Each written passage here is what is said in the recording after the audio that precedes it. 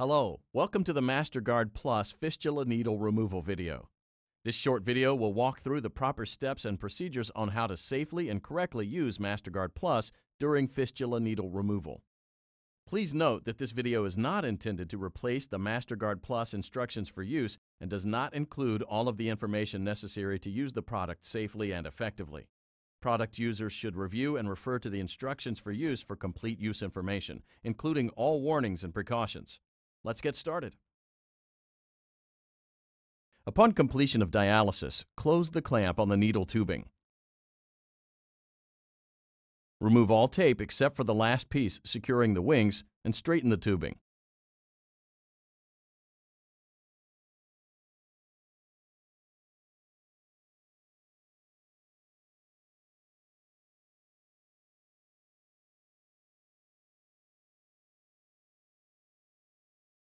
Slide the MasterGuard Plus forward with the finger shield pointing up.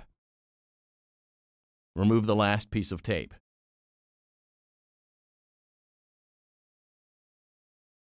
Pull the needle back slightly, just enough to expose the puncture site. Position the gauze over the puncture site and hold gently in place. Be sure not to apply pressure until the needle is removed from the skin. Continue to move the MasterGuard Plus toward the needle until the lower jaw is under the wings but not touching the puncture site. Place your index finger on the finger shield and gently place your middle finger on the gauze over the puncture site. To withdraw the fistula needle from the patient, grasp the needle tubing directly behind the MasterGuard Plus and pull, keeping the needle angle constant until the needle has exited the site and the wings are secured behind the locking jaws.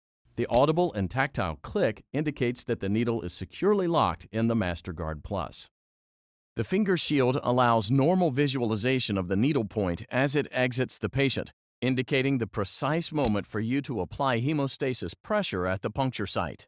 Continue to apply double-digit pressure on the dressing and finger shield.